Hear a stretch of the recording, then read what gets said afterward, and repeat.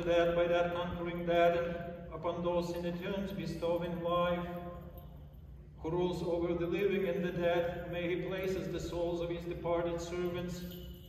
all who died during Akcja Wisła and in the camp Yavoshnin, whom we commemorate today. May he places them in the bosom of Abraham, number them among the just, and have mercy on us and save us through the prayers of his most pure mother, the holy Theotokos and ever Virgin Mary, through the prayers of the holy apostles and all the saints, for he is gracious and he loves